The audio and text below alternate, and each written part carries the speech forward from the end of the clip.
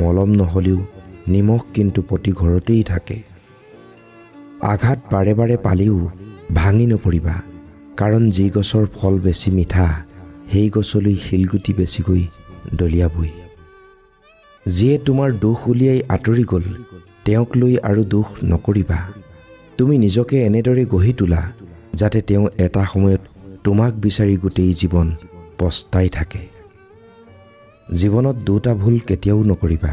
মিছলীয়া মানুহৰ লগত প্ৰেম আৰু সঁচা ভালপোৱাৰ লগত টাইম পাছ কেতিয়াবা এনেকুৱাও হয় কিছুমান মানুহ কাষত থাকিও আপোন নহয় আৰু কিছুমান দূৰত থাকিও জীয়াই থকাৰ উৎস হয়। আপুনি আপোনাৰ সপোনৰ পিছত এনেকুৱাকৈ দৌৰক যাতে এদিন আপোনাক পাবৰ বাবে মানুহে সপোন দেখে। মিছা কথাৰে কাৰোবাক ঠগালেও সেয়া স্থায়ী নহয়। যিদিনা ধৰা পৰিবা নিজৰ দৃষ্টিত নিজেই বহুত তললৈ নামি যাবা। দুখ সহিব পৰাজনে ভৱিষ্যতে সুখী হ'ব পাৰে কিন্তু আনক দুখ দিয়াজনে ভৱিষ্যতে কেতিয়াও সুখী হ'ব নোৱাৰে। কেতিয়াও এৰি নোযোৱাৰ কথা দিয়া কেতিয়াও মিছা কথা নকওঁ বুলি প্ৰতিশ্ৰুতি দিয়া মানুহক আজি মিছলীয়া বুলি উদাহৰণ দিব পাৰোঁ।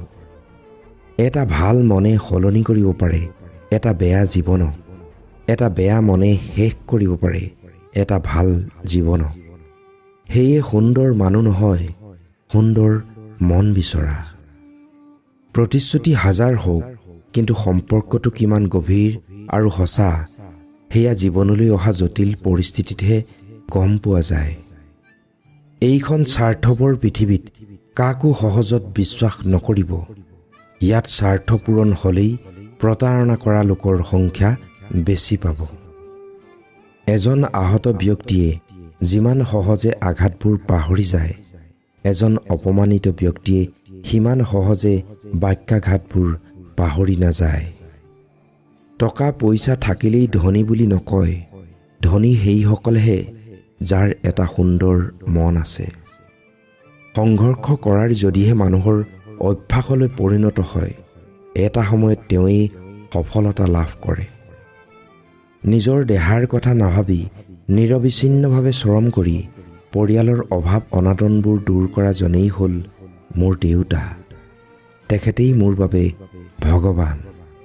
তুমি যদি তোমাৰ পিতৃ মাতৃক বৃদ্ধ বয়সত এৰি আহিছা তেন্তে মনত ৰাখিবা তোমাকো এদিন তোমাৰ পুত্ৰই বৃদ্ধ বয়সত এৰি আহিব। ব্যৱধান মাথো সময়ৰ। ধন সম্পত্তিক লৈ অহংকাৰ কৰি কি লাভ? এদিনটো খালী হাতে জীৱনৰ মায়া এৰি গুচি যাব লাগিব।